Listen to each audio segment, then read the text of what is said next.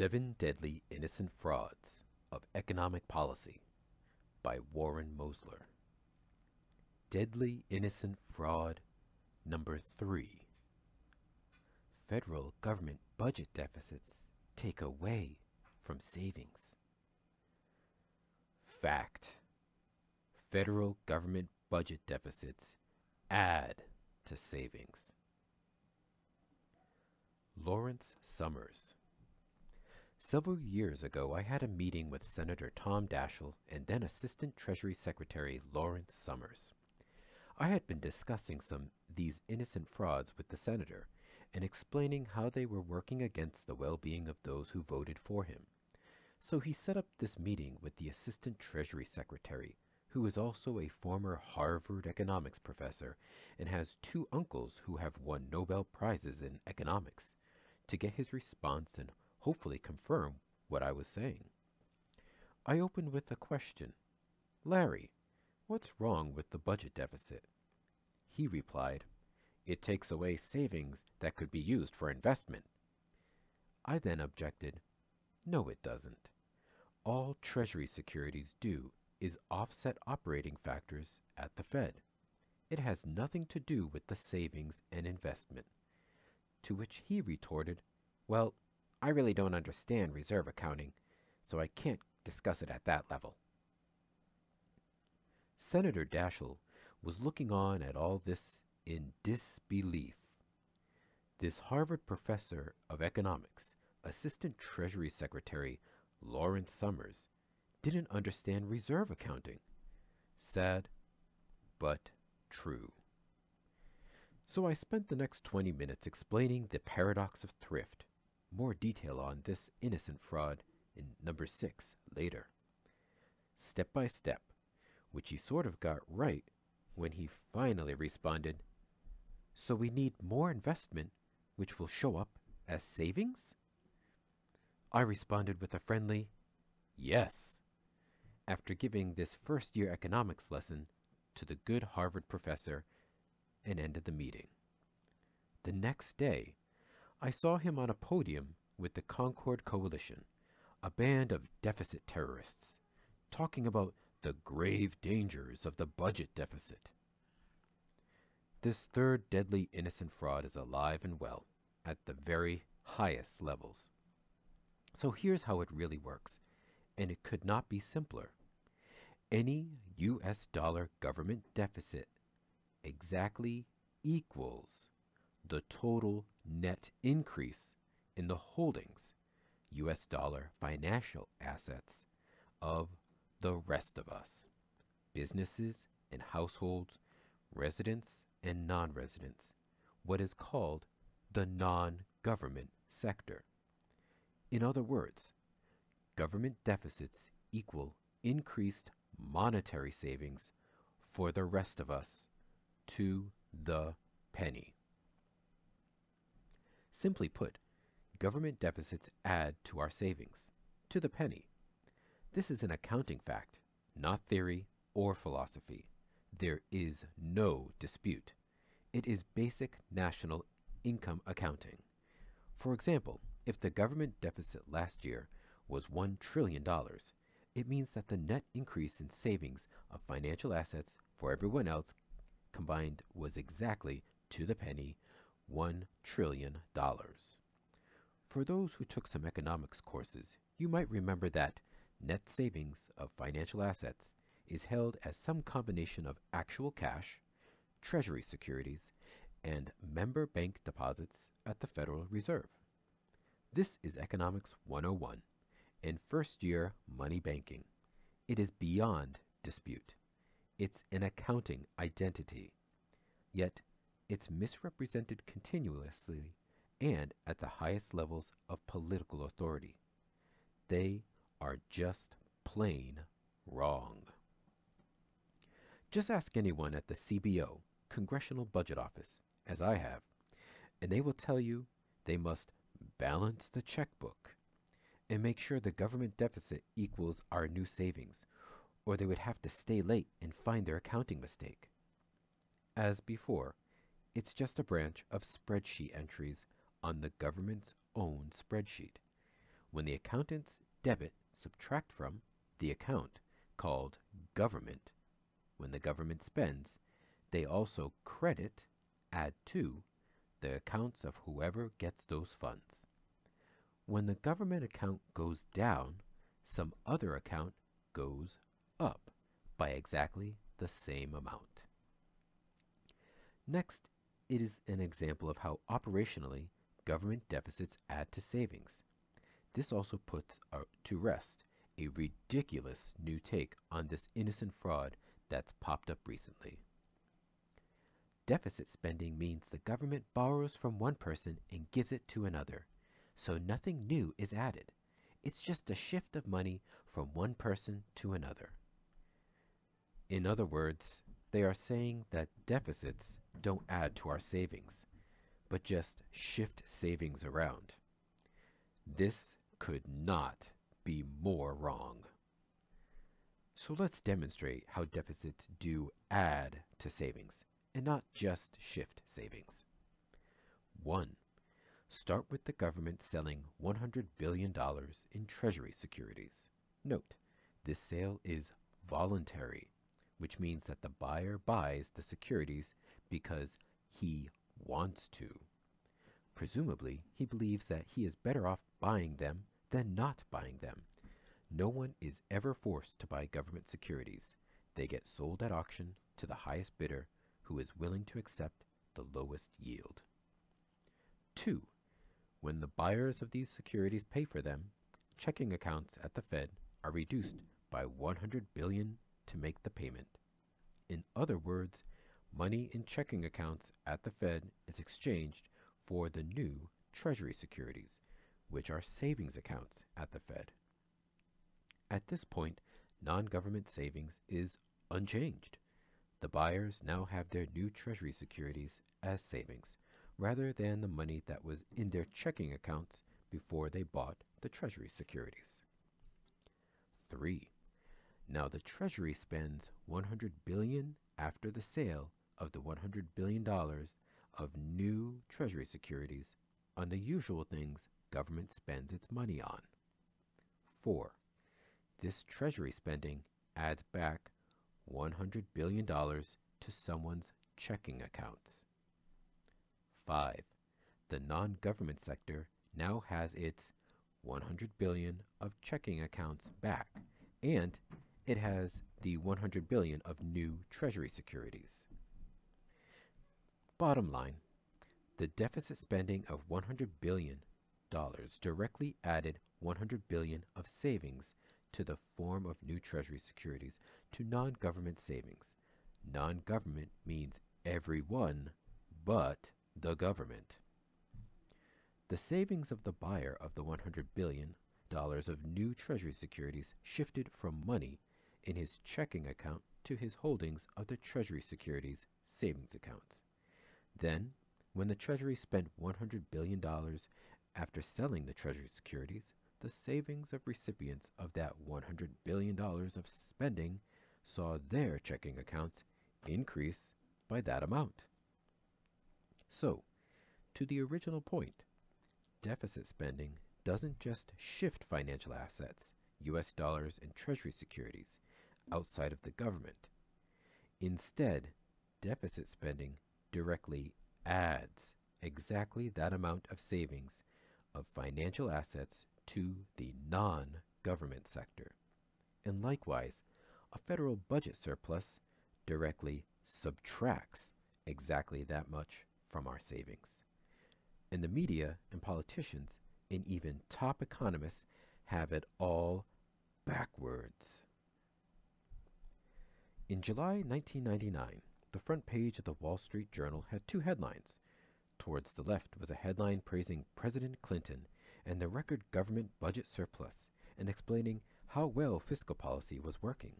On the right margin was a headline stating that Americans weren't saving enough and we would have to work harder to save more. Then the few, a few pages later, there was a graph with one line showing the surplus going up and another line showing the savings going down. They were nearly identical, but going in opposite directions and clearly showing the gains in the government surplus roughly equaled the losses in private savings.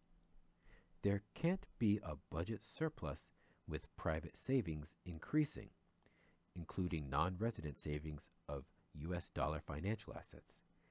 There is no such thing, yet not a single mainstream economist or government official had it right. Al Gore. Early in 2000, in a private home in Boca Raton, Florida, I was seated next to the then presidential candidate Al Gore at a fundraiser dinner to discuss the economy.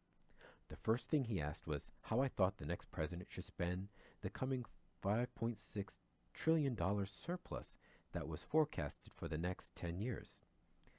I explained that there wasn't going to be a $5.6 trillion surplus because that would mean a $5.6 trillion drop in non government savings of financial assets, which was a ridiculous proposition. At the time, the private sector didn't even have that much in savings to be taxed away by the government, and the latest surplus of several hundred billion dollars had already removed more than enough private savings to turn the Clinton boom into the soon to come bust. I pointed out to candidate Gore that the last six episode, the last six periods of surplus in our more than 200 year history had been followed by the only six depressions in our history. Also, I mentioned that the coming bust would be due to allowing the budget to go into surplus and drain our savings, resulting in a recession that would not end until the deficit got high enough to add back our lost income and savings and deliver the aggregate demand needed to restore output and employment. I suggested that the $5.6 trillion surplus, which was forecasted for the next decade, would more likely be a $5.6 trillion deficit, as normal savings desires are likely to average 5% of GDP over that period of time. That is pretty much what happened. The economy fell apart and President Bush temporarily reversed it with his massive deficit spending in 2003.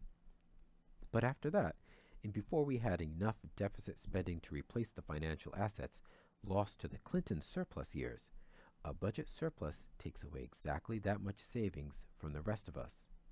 We let the deficit get too small again. And after the subprime debt driven bur bubble burst, we again fell apart due to a deficit that was and remains far too small for the circumstances. For the current level of government spending, we are being overtaxed, and we don't have enough after tax income to buy what's for sale in that big department store called the economy. Anyway, Al was a good student, went over all the details, agreeing that it made sense and was indeed what might happen. However, he said he couldn't go there. I told him that I understood the political realities as he got up and gave his talk about how he was going to spend the coming surpluses. Robert Rubin. Ten years ago, around the year 2000, just before it all fell apart, I found myself in a private client meeting at Citibank with Robert Rubin, former U.S. Treasury Secretary under President Clinton and about 20 Citibank clients. Mr. Rubin gave his take on the economy and indicated that the low savings rate might turn out to be a problem. With just a few minutes left, I told him I agreed about the low savings rate being an issue and added, Bob, does anyone in Washington realize that the budget surplus takes away savings from the non government sectors?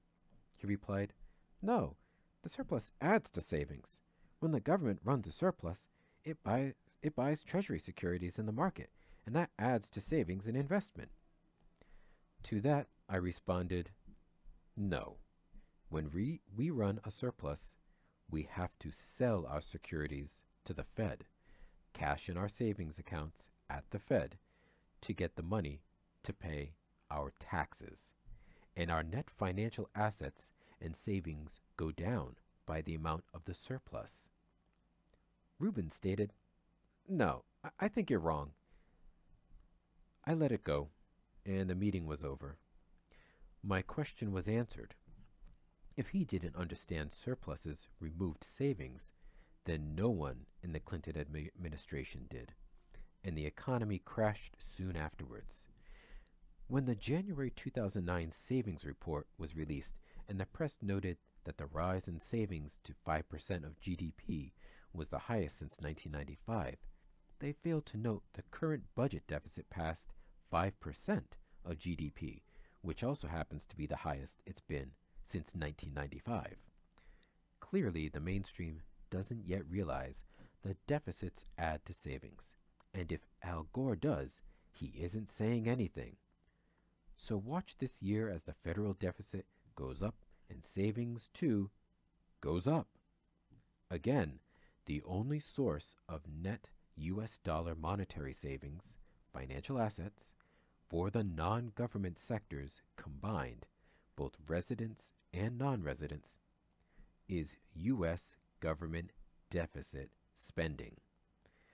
But watch how the very people who want to save more at the same time want to balance the budget by taking away our savings, either through spending cuts or tax increases. They are all talking out of both sides of their mouths. They are part of the problem, not part of the solution. And they are at the very highest levels, except for one.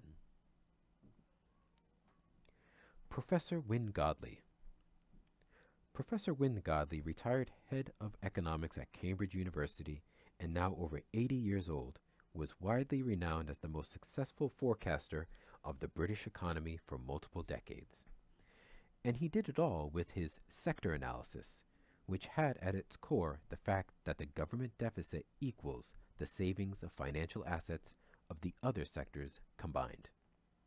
However, even with the success of his forecasting, the ironclad support from the pure accounting facts, and the weight of his office, all of which continues to this day, he has yet to convince the mainstream of the validity of his teachings. So now we know federal deficits are not the awful things that the mainstream believes them to be. Yes, deficits do matter. Excess spending can cause inflation. But the government isn't going to go broke. Federal deficits won't burden our children. Federal deficits don't just shift funds from one person to another. Federal deficits add to our savings. So what is the role of deficits in regard to policy? It's very simple. Whenever spending falls short of sustaining our output and employment, when we don't have enough spending power to buy what's for sale in that big department store we call the economy. Government can act to make sure that our own output is sold by either cutting taxes or increasing government spending. Taxes function to regulate our spending power and the economy in general. If the right level of taxation needs to support output and employment happens to be a lot less than government spending, that resulting budget deficit is nothing to be afraid of regarding solvency, sustainability, or doing bad by our children. If people want to work and earn money but don't want to spend it, fine. Government can either keep cutting taxes until we decide to spend and buy our own output and or buy the output, award contracts for infrastructure repairs, national security, medical research, and the like. The choices are political. The right size deficit is the one that gets us to where we want to be with regards to output and employment, as well as the size of government we want, no matter how large or how small a deficit that might be. What matters is the real life output and employment, size of the deficit, which is an accounting statistic. In the 1940s, an economist named Abba Lerner called this functional finance and wrote a book by that name, which is still very relevant today.